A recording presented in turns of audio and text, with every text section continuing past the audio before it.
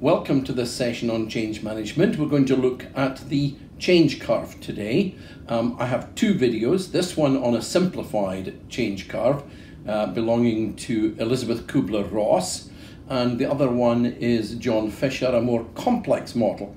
But I think if we start here, it gives us a chance to think about how do people react when a change falls upon them.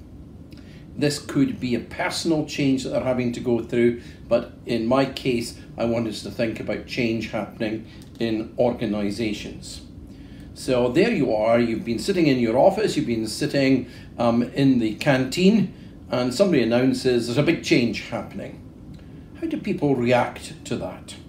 Well, let's have a look at this model and see what it tells us. So, first of all, we better get some axes in place. There we go. And we better call these axes. Um, so this one, we're going to look at impact. And this one, time. But also, I think, the integration of change. So you're going through a process whereby you're integrating that change. So how might we respond to that? One of the ways we can respond is just simply shock, shock, horror. What is going on here?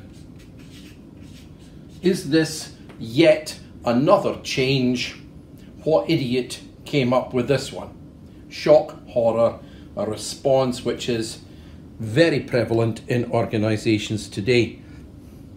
So some people will go very quickly into denial. Denial.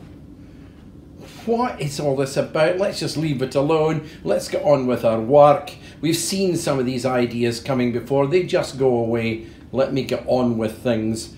And so they deny that any change is going to happen. Now another option is they could go straight in to resistance. There is no simple route. It's not a matter of going, we start here, we finish there. Each person has their own response, perhaps depending on their personality, perhaps on their previous experience of change. So somebody might just go into resistance.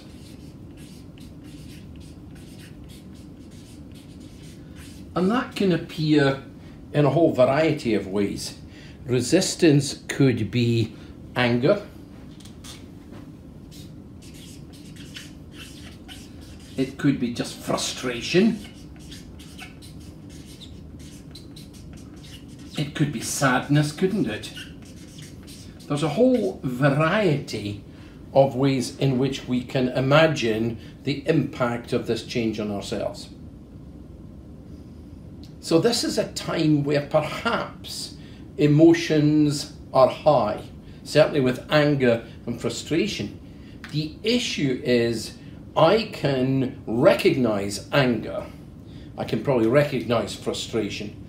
I won't always recognize sadness or depression because people will go quiet, perhaps they'll go off sick, but they'll be quiet and it's less likely that I will notice the impact of the change on these people. So we need to start thinking about how do we have communication with people to find out what they really think. Now, another alternative, or perhaps on the journey, you know, we could start to explore. So exploration. Maybe it's not all that bad. I've maybe been on this training course and I'm beginning to get an idea about what they're talking about. It's, um, it's maybe something I can become competent at. I wonder if that's possible. Uh, you know, I've had some good conversations with my boss, and, and she's quite uh, motivated by this, and she said that I'll do well at it. It's possible, isn't it? So, this part here, exploration, I haven't accepted that this is going to happen and I'm okay with it. It's simply saying earlier on, Well, maybe it's not as bad as I thought. Let's continue.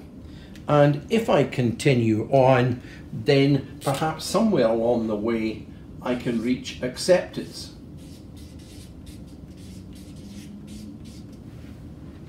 So if we think of this as a change curve, and that's what it's called, then we might think it could be something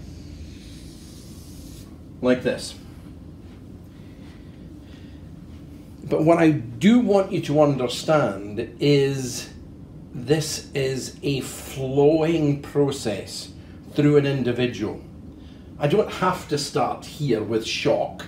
I might be used to it by now. I don't have to go into denial. I don't even have to go into resistance. Maybe I've had some good experiences with change, so I just want to do a little bit of exploration and then go on my way. Even if I start in exploration, perhaps it's not turning out quite how I thought. So I'm beginning to get a bit frustrated and angry.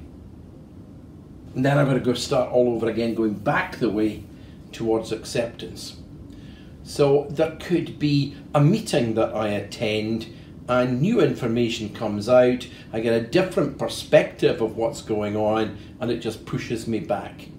Then I clamber forward and I'm moving to integrate the change and accepting it. Once I'm up here, the impact is very positive. At this level, it's quite negative so negative. Another way that you can think about this is our perception, somewhere around exploration here. This is looking back the way. So looking back.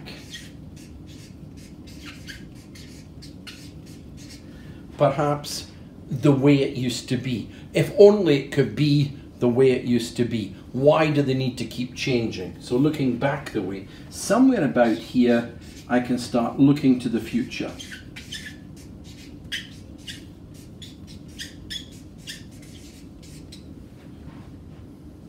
So there's the start of the curve.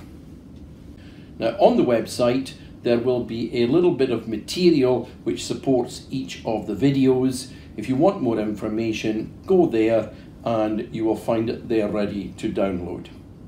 Thank you. Have a good change day.